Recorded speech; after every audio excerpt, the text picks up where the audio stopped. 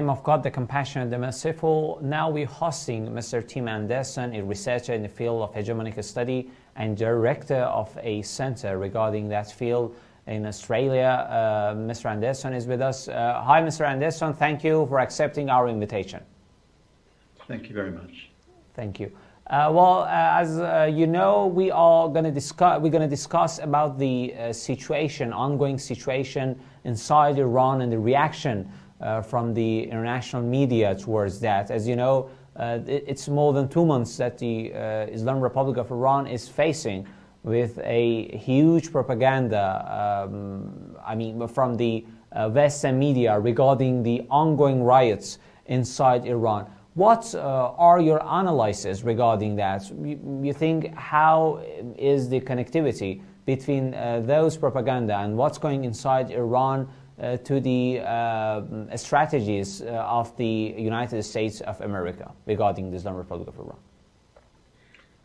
Well, first of all, it's very much like the Syrian copybook in 2011, or we could say the, the Iranian copybook in 2009, the Green Revolution or whatever.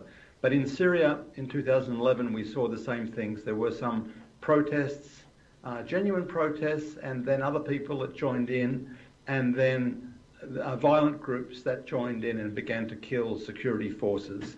And then the Western media began to mash them together and say that the people killed by the violent forces were people killed by the government and so on. So it's very much a a colour revolution scheme that the US has been doing in many countries. Libya, the same sort of thing was carried out. Um, but Syria it was notable for, because for many, many months in Syria in 2011, they kept saying, calling people peaceful protesters when we know there were Takfiri terrorists cutting people's throats and killing literally hundreds of security forces. And that was covered up um, for quite a long time. That was quite an achievement, really. I, I mean, a, a remarkable, shocking achievement that the power of this Western media has to distort things. I'll give you one example. For example, they say that Iran has been shelling protesters in Iraq, but there are no protesters in Iraq. Well, of course, for a number of years this has been going on. There's been a centre for terrorist training in Erbil, which has been sending anti-Syrian and anti-Iranian terrorists across the border there. So they are mixing all these things up and creating their own cocktail, which they're now trying to call an Iranian revolution. But they've done it so many times before. That's great. Well, uh, in your point of view, what's going to be, uh, what should be the Iran reaction, uh, including Iranian uh, government and also the, um, I mean, civil activists inside Iran towards such a such a huge propaganda against the Islamic Republic of Iran? As you know, that uh, since the very beginning of this crisis after the death of uh, Ms. Mahsa Amini. Iranian police has released the uh, CCTV camera footage uh, of her death. Um, she uh, faced with a natural, um, she was facing with a, natural disease and then experienced a heart arrest inside police station. But we have never seen those videos in Western medias. What's going to be, in your point of view, uh, the uh, Iranian uh, reaction towards a propaganda which is ruling by the Western medias? Well, the Iranian reaction is one thing, and the international is another. I mean, that video, the closed circuit television of Mahsa Amini collapsing um, and being taken away to hospital, th- those things are available, but they're swamped by all the other things. Also, the coroner's report of her death has been swamped. So, in a sense, the evidence of, her death and how it happened really has become irrelevant to what's been going on there, really. And in fact, just by coincidence, I had some friends in Iran just before that, and they were told by friends in security there that something was being planned, and it was just looking for the right trigger, basically. So clearly, these things are there's a certain amount of preparation that goes into these things to for people to have weapons, for these weapons to be pulled out in demonstrations. And like I said, it was very similar to the, the Syrian copybook. The difference is that Iran has a fairly strong voice in the world. It can project its voice, albeit being censored and being branded with labels, deterrent labels on US social media and so on. Um, there's the very real security implications of these people from the Mujahideen Khalq based in Albania now coming across with weapons um, the versions of Daesh for coming from Afghanistan side, for example. Um, those things obviously are being taken very seriously by Iranian security forces. But in terms of the, the, the public image in the West, I think it's a cycle that's going to be gone through. Um, Iran is a very stable country. It has much higher levels of trust in its government than does the USA, for example, which is an interesting fact we should I, I should bring to the attention of Western audiences here.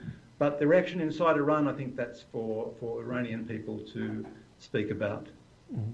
Thank you. Well, as you know, that um, uh, a couple of days ago, President Macron in France has met with uh, part of the Iranian opposition uh, in Paris. Uh, he, I mean, has hosted them in Paris. Many uh, medias are concentrating on these events and uh, calling that extraordinary.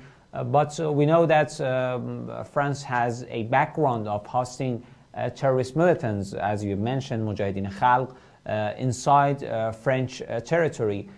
how do you see that? What is your analysis regarding the meeting between Macron and the Iranian opposition in Paris?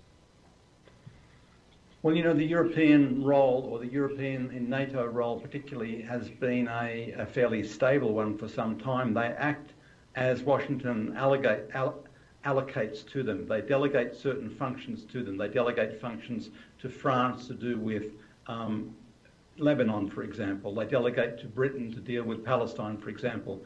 So they are acting really under the, the tutelage of the US. And um, uh, you're right that the, President Macron has hosted uh, opposition figures, exile opposition figures um, uh, uh, from Iran, also from Venezuela, from other countries. The US has a store of these personalities who are, you know, in the case of the unelected Juan Guaido, uh, a strange character wandering around the world, but was a pretext for the US and for Britain to steal the external assets of Venezuela. And now that's a very real crime. They use these almost comical, sometimes puppet-like characters, but they use it to carry out real crimes. So it's something that has to be taken very seriously. But as I say, France is really just playing a role uh, that's delegated to it by Washington. And we see some of the tensions, by the way, coming up between Washington and its European junior partners in, in relation to the war in Ukraine. Of course, the Europeans are going to suffer a lot more from that one than the US itself. Thank you. Well, uh, part of that propaganda, which I have mentioned uh, from the beginning of our discussion, uh, is concentrated on a so called campaign uh, regarding claiming that the Islamic Republic of Iran has sold drone, suicide drone Shahed, which are, um, according to the Western uh, centers, I mean, concentrating on the military studies are so precise. They are, they, they are claiming that the Islamic Republic of Iran uh, is selling those, uh, I mean, drones to the Russian government uh, to use them against uh, Ukrainian forces. But officially, the, the Iranian Foreign Ministry has denied that, but saying that, that they have sold a uh, number of drones uh, to the Russian forces uh, months uh, before the beginning of war in Ukraine. But um, given the fact that the Islamic Republic of Iran has made it quite clear, they are trying to uh, put Islamic Republic of Iran uh, somewhere inside the Ukraine, Ukrainian crisis. What is your analysis regarding that? What are they plan? What's going to be their next steps uh, from, the, uh, from calling Iran as a country uh, which is supporting one part in the Ukrainian war, given the fact that we know that the United States of America and other countries, um, which they have clearly said that are selling different types of weapon to the another side of the war, which is Ukraine. Yes, uh, in one respect, I believe it's to do with the attempt to enforce the so-called sanctions, really unilateral coercive measures in the case of Iran um, and Russia for that matter, um, enforce those measures because if they can brand a country as breaching some sort of international law, then they can try and enforce the banking system to exclude them. And they've done it with little countries like Cuba, for example, to claiming that Cuba is a sponsor of terrorism and therefore reinforcing their financial blockade through the SWIFT and dollar system and so on. So it serves some purpose for them in trying to pursue their economic war against Iran. But I don't think it really, uh, I don't think it's really taken very seriously because after all, there has, there has been evidence of these drones and uh, okay, there are Iranian designs for drones. It's pretty clear that the Russians can copy them if they want to. I've seen some of them, some of the copies, and they've used US components too. So they've got North American components in them too. But I think they, they hype it up really to try and uh, link it to their economic warfare, the, the attempt to isolate countries. But unfortunately for them, it's gone a bit too far, and so you have now um, half the world effectively joining together in groups like the Shanghai Cooperation Organization and the BRICS and so on because so many countries have been uh, lumped into this basket of trying to be uh, of blockades, financial, economic blockades, trying to turn off all the taps for their um, for their livelihoods, and in some cases importing medicines and food and so on. I know Iran is quite self-sufficient in a lot of things, but Iran is now, for this reason, for this very reason, uh, developing its strategic relationships with China and with Russia and with Venezuela, with a, with a number of countries. Thank you very much, Tim, and, Tim Anderson, for accepting our invitation and participating in our discussion. Very welcome. Thank you. Thank you so much, Mr. Tim Anderson. It was a great discussion. Thank you so much. Thank you for accepting our invitation. And I'm again and again, I'm so sorry for delays which we have experienced due it's to the okay. internet I understand situation. these things happen. Yeah. Thank you. Thank you so much. Thank you. Thank you. Good Bye. luck.